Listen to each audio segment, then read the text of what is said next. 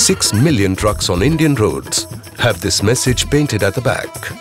Use Dipper at night, which inspired a new condom brand, Dipper.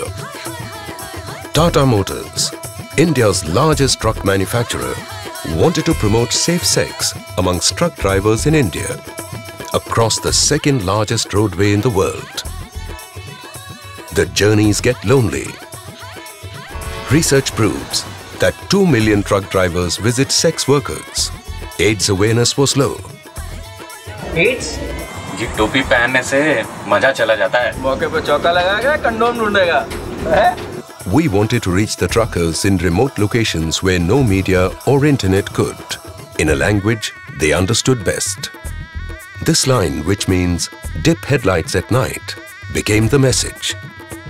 We created a special range of condoms called Dipper using truck art, a part of the Indian highway culture.